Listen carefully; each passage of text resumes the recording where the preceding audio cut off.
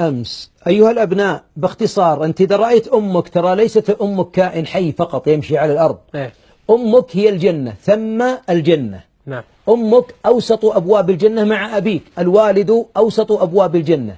إذا تكلمنا عن الجنة أنت إذا جعلت أمك تطلب منك أن تفعل فلست بارا. آه. إلين تبدأ تفعل الفعل قبل طلبه. البنت اللي عليها غسل غسيل المواعين. إيه. والثاني عليها الطبخ. انت إذا احتاج إذا احتاجت أمك إنها تقعد تحت في الدور الأول وتنبح صوتها يا فلانة يا بنت يا بنت تناديهم وهم يتسحبون تحت ال- ال- البطانيات قايمين تعبانين سهرانين الأمس إيه. أو بعضها شغالة على الجوال ولا بعضها تكلم زميلتها.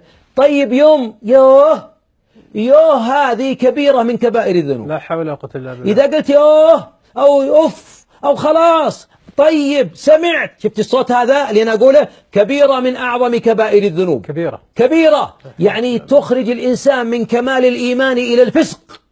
وقال أهل العلم ارتفاع الصوت على الأم أو الأب كبيرة تخرج الإنسان من الإيمان إلى مثل صوتي الآن وأنا أرتفع. نعم. لو أقوله قدام أمي كذا صوتي هذا لو أقوله عند أمي أنا مرتكب كبيرة من كبائر الذنوب لذلك احذروا أيها الأبناء احذروا. كان الحسن البصري إذا كان عند أمه لا يطلع منه صوت إلا صوت ضعيف. فلما سئل عن ذلك قال أنا بين يدي من رضا الله في رضاها.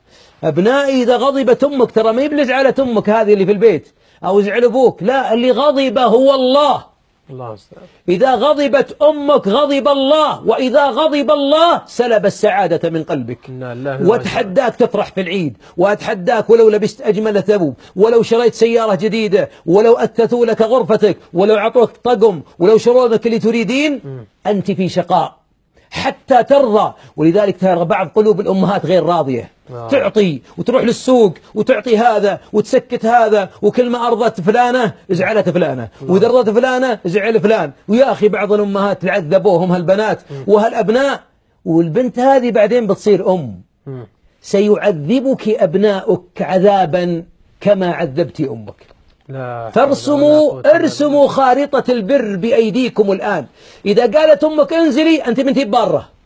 لأنك يجب تنزلين بدون. يا أخي المطبخ كل يوم يعني في يوم من الأيام لن, لن, يطبخ. أه، وبالعكس قولي لأمك أنا ما علي اليوم يومي طبخ بس تبغيني أطبخ. الله مبادرة. على مبادرة. تبيني أكوي. يا أمي أروح معك للسوق البر. معك هنا. وش تبين يا أمي من يقعد عند إخوانك؟ أنا أقعد عند إخواني. آه، نلف السمبوسة أنا اللي بلف معكم. أنا ب- حطيك أعرضي. ولذلك شفت البنت هذه ترى أحيانا في بعض البيوت بنت تلقاها صالحة مضحية.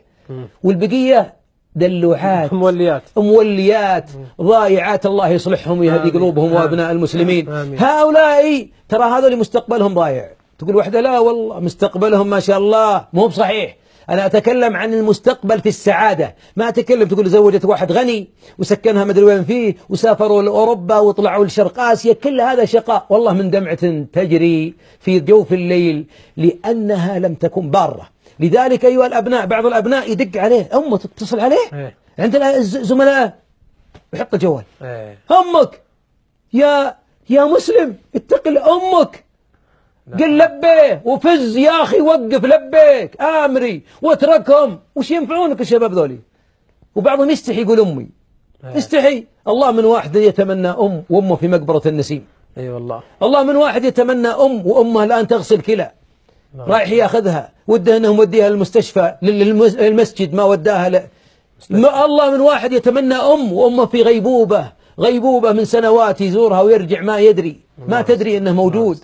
احمد والله أن الله مد في أجال أمهاتكم وأنا متأكد أن الحديث عن الأم يد- يدمع عيون من فقد أمه. نعم. وأسألكم بالله يلي فقدتم أمهاتكم. الله يجعل قبورهن جنة. اللهم اجعل قبورهم جنة. وش تدفع. وش تدفع من الحياة وترجع أمك يوم بس عشان تعيد معك؟ الله الله أكبر. كم تدفع وترجع أمك من قبرها وتنثر التراب عنها وتقول تحنى ها تلبس تحط الحنة وتلبس الثوب الزين ها؟ وتجلس في وسطكم في يوم العيد الجاي. كم تدفع؟ تدفع عمرك كله. ولو صحيح. تشوفها يوم تدفع حلالك كله نعم. دنياك كله.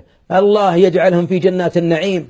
أنا. أقول يا من لم يفقد أمه لما فقد أمه يتمسك في أقدامها.